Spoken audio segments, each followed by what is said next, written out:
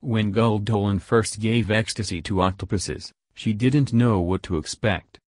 Dölen is a neuroscientist at the Johns Hopkins School of Medicine who studies how the cells and chemicals in animal brains influence animals' social lives. Ecstasy, also known as MDMA, interests her because it's known to make people feel more sociable, more interested in others, and less defensive. The same effects also occur in rats and mice, the animals that Dölen usually studies. But octopuses are very different creatures. They're clearly intelligent and their behavior is undoubtedly sophisticated, but their brains have a completely different architecture than those of mammals. For one thing, they're shaped like donuts. It's organized much more like a snail's brain than ours, Dölen says.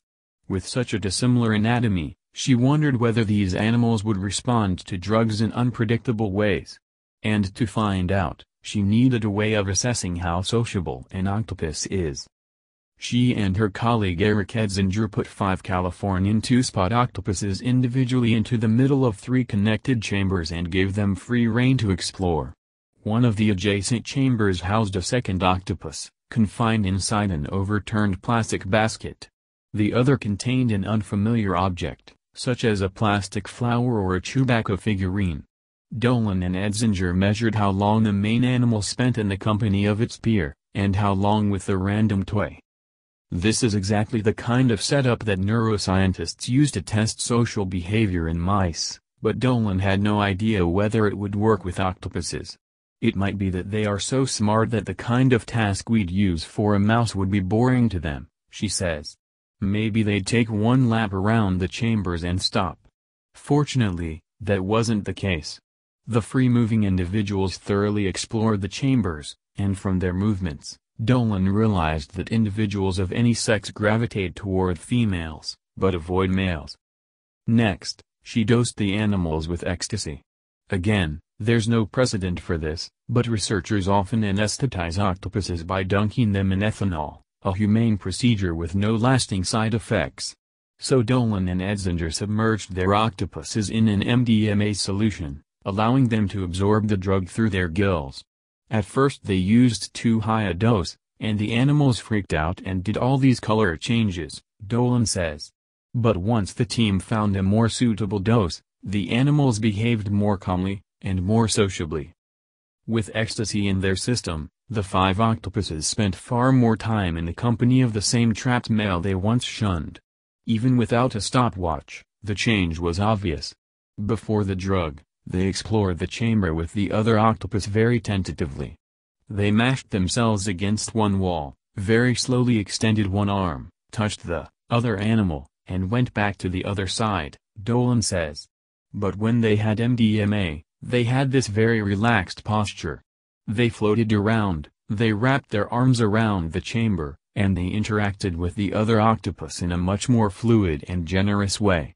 They even exposed their underside, where their mouth is, which is not something octopuses usually do. But most octopuses, with some exceptions, are solitary hermits, and Jennifer Mather from the University of Lethbridge isn't convinced that ecstasy is making them sociable.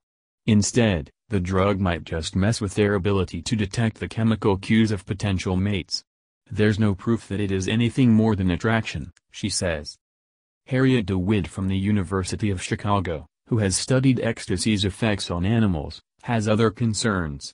It's an innovative and exciting study, she says, but it's unfortunate that the duo always tested the octopuses first after a dunk in normal salt water and then after an ecstasy bath. In pharmacology studies, scientists normally mix up the order in which animals receive the drug and the saline control. Without that counterbalancing, it's hard to say why the octopuses were behaving differently the second time around, was it because of the ecstasy, or simply because they had become familiar with the arena, the plastic toy, or the other octopus? Dölen admits that the study is just a pilot, and one with a very small sample size. We would obviously want other people to try and repeat it in a much larger group of animals, she says. But we wanted to publish it, because there really aren't established protocols for delivering drugs to octopuses or doing social tests with them. She hopes that her findings will encourage more neuroscientists to study these beguiling animals. She's not the first to make such a call, either. In 1964, the English zoologist J.Z. Young wrote a book called A Model of the Brain, in which he encouraged scientists to study the brains of a wide variety of species, octopuses included. We could say the octopus brain is totally different to a human one, but we need the synapse or this neurotransmitter, Dölen says. We could write down a list of these minimal building blocks of complex behavior. And that's what she and Edsinger have started doing. They knew that ecstasy works by causing neurons to release serotonin, a signaling chemical that affects our mood.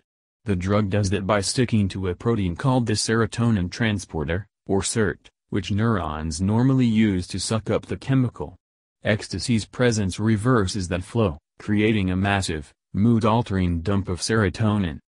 Octopuses have their own version of SERT, and Dölen and Edsinger showed that it's just a 50% match to ours. Despite these differences, the specific bit of the protein that sticks to ecstasy is almost identical in both species, which is why the drug affects both. We weren't expecting it to have quite so much overlap, Dölen says.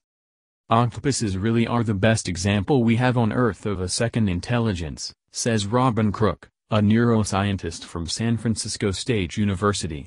We last shared a common ancestor with them around 800 million years ago and their brains have evolved independently from ours. And yet Dölen's study showed that our brains have a few extreme similarities, from the molecular level to the behavioral one. It strengthens the idea, Crook says, that there are only so many ways to make an intelligent brain.